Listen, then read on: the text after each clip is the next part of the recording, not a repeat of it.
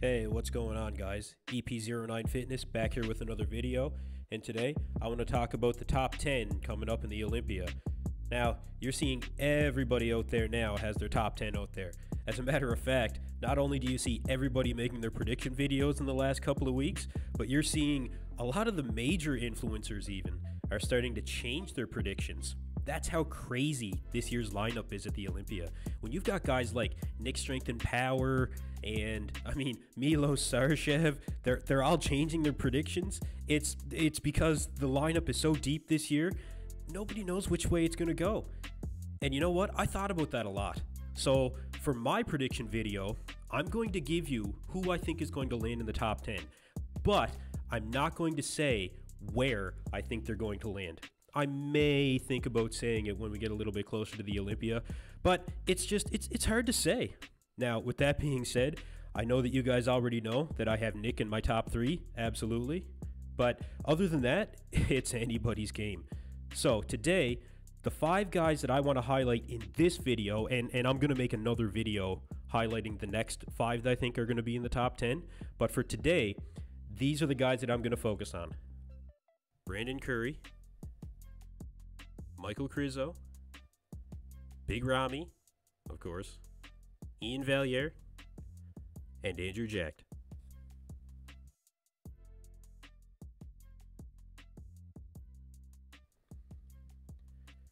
First up, Brandon Curry.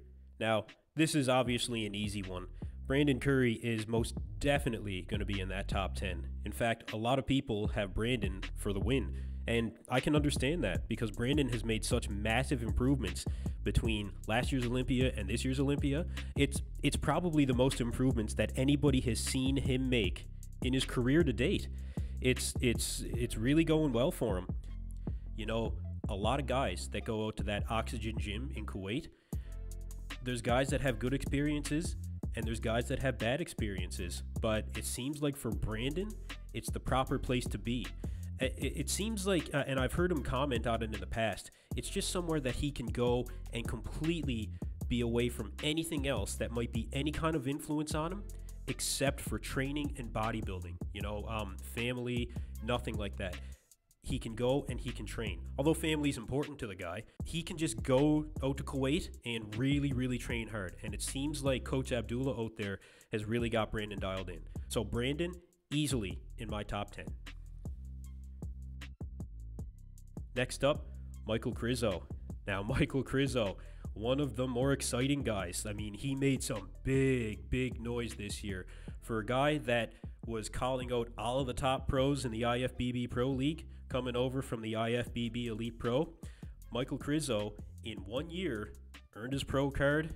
Actually, not just within one year, all within a couple of months span. Michael Krizo earned his IFBB Pro card. He won a pro show at the Prague Pro, and now he's going to the Olympia. I think that people really are underestimating Michael Krizo, but I think that some of that underestimation is, is kind of valid. You know, a lot of people are commenting on how he's been sucking a lot of wind lately. You know, if anything is going to hold back Michael Krizo this year at placing well at the Olympia, it's going to be his ability to hold his poses if anything is going to affect Michael Krizo 100%, it'll be posing this year coming up. I mean, you can even see him in some of these training videos. He is, he's sucking a lot of wind. But man, look at the size of him. I mean, he's he, he's massive.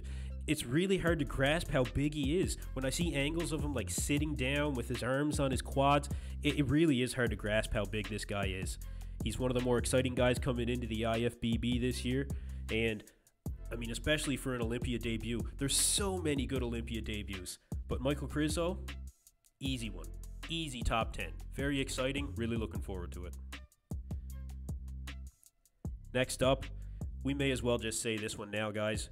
Big Ramy. I mean, Big Ramy is going for the win. Big Ramy's on track to win.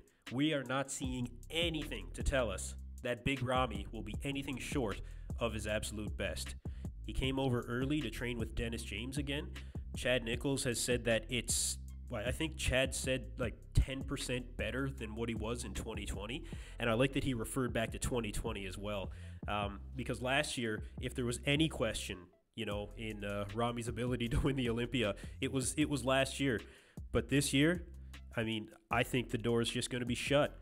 That's what everybody's saying at this point. I think it's well understood that Big Ramy is going to be in first place. So I wanted to kind of mix this video up with uh, guys that you might think are in the top five, guys that you may think are not in the top five. Big Ramy is a pretty easy one. Big Ramy's going to win this year, and that's fine. I mean, you know, it, it doesn't make it any less exciting for me. I, I don't think it makes it any less exciting for the fans. We love to see Big Ramy coming in his best shape ever because for years, everybody said if Big Ramy could just show up, if he could just show up, in shape, he would win. And that happened. And now he's just been getting better. I tell you, Chad Nicholls really figured out how to dial this guy in. Keep him big, keep him full, get him ripped. Awesome. Next guy up, Iain Valliere. Now, a lot of people have Iain counted out of their top 10, and I just think that's ridiculous. Iain is definitely a top 10 guy this year. You know, Iain has made some massive improvements himself. Massive improvements. He's very consistent with those improvements. I mean, when it comes to conditioning, there's very few people that can match Iain's conditioning on that stage. He's always conditioned, grainy, hard. I mean, you could see it if you go back and watch a, a video I had with Iain in it uh, uh, about a week ago. You can see the vascularity in his training. I mean, it's just insane. Iain is a top 10 guy this year. I mean, the, the improvements that he's made are just, I mean, in size. How do you improve on Iain's conditioning, you know? But I think Iain also knows that symmetry is going to be a big thing this year. And if you saw some of the update pictures that he's posted, it looks like his waist actually got smaller. So he's pulling a little bit of a Nick Walker, I guess. Not that he needs any advice. But yeah, Iain, top 10 guy for sure. And you know, props to Iain on his social media following. I, I, mentioned it before too, but Iain really stepped it up for a guy that really didn't like to post a whole lot in the past and, you know, had some controversial comments on certain things and people and stuff like that. Nah, Iain's hitting it, man. Iain's in the top 10. You guys just watch and see. Can he improve on seventh? Tough year to do it, but he is in the best shape of his life. I really do think so. Mean, just look how wide the guy is now. Not that his back was a weak point before, but man, it's going to be good. Next up, Andrew Jacked. Andrew Jacked. You know, for a guy that just turned pro this year, he's another guy just like Michael Krizo making his Olympia debut. And he really is, he really is a guy that people are watching out for. When he won his pro card, it was like the next day that different people were coming out and saying, can Andrew Jacked be in the top six? Can he be in the top six? That's how good this guy is. That's how much confidence people have in this guy. And especially right now, to weigh in at 292. 292 is huge. He's, I mean, Nick Walker weighed in at what, 257 or 258 there yesterday? I mean, this is this is eight days out. I think it's eight days out anyway. It's within 10 days out. 292 massive. And but proportion wise, I mean, every, everybody knows at this point, you know, what they're going to get when it comes to Andrew Jackson, and his proportions and his symmetry and just absolutely crazy. But you know, one thing I did notice with Andrew Jacked is all of his training videos, he's covered up, man. He's covering up. Now, the question is though, why? Why is he staying so covered up? Does he have something to hide? Is his conditioning not where everybody would expect. Has he lost size? These are all the questions. But you know what? I actually found an interview with Andrew Jacked recently, and I'm not I'm not going to say any more because I'm going to do a separate video on Andrew Jacked here shortly. Before the Olympia, it's going to come out as to where I think Andrew Jacked may place and what I think may affect those placings. So, I hope you guys stay tuned for that one. But either way, Andrew Jacked has made some noise this year. He has made some noise. Crazy physique, crazy. They talk about aesthetics in the open bodybuilding lineup, and a lot of that conversation directly came from Andrew Jacked because he's got those aesthetics. He's a mass monster, but he's just the, lines are just so clean, so clean. He is such an exciting, such an exciting addition to this year's Olympia. Crazy.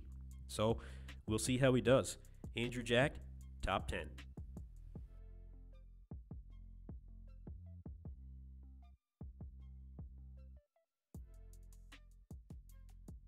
So there you have it, guys.